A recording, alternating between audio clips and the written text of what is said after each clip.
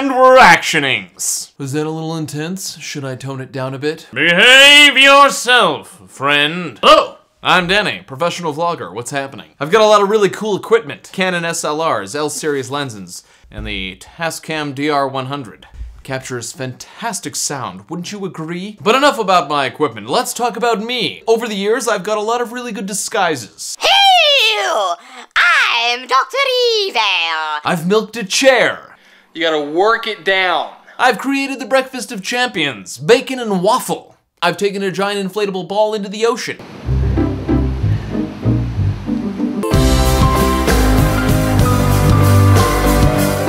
I've written a children's book for adults. Then his friend explained it in a way that he could understand. One time I was featured on the front page of YouTube for taking out a Christmas tree. And dive. I make friends everywhere I go. Yeah, open your mouth big. Ah. I milked a cow in Serbia once in my underwear. Milk cows. Cow right here is providing milk.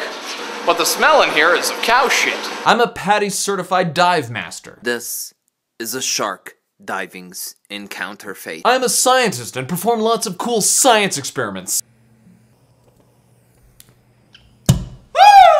Lots and lots of them. Queen! I play well with goats. Hands up like horns, strike the goat. Strike him. Very important quality to have. I'm an artist of sorts.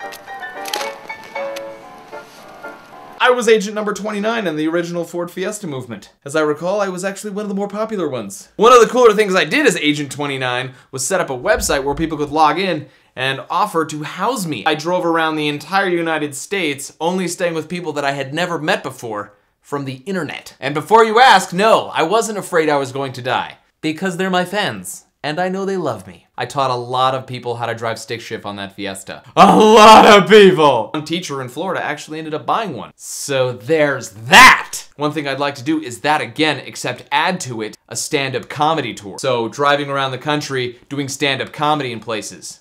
I was gonna do a tour anyway, but I wasn't able to do it because I don't have a car that would make the trip. Anyway, having this car and the gas card would actually make my national comedy tour possible. And all of the fans and people that I meet would love you and thank you. There's a lot of good karma to be had here. A lot of good karma. But probably the most compelling reason why I should be a part of this Ford Fiesta movement is that I like to have lots and lots of fun no matter where I go and what I do. And I share that with everyone on the intranets. Final summation, I would absolutely love to be part of the remix. Over 317,000 subscribers on YouTube, over 120 million views on YouTube, not to mention a healthy following on Facebook and Twitter. think I'm one of the uh, good ones. I'm gonna say I'm one of the good ones. So, you know, please, please, pick a me.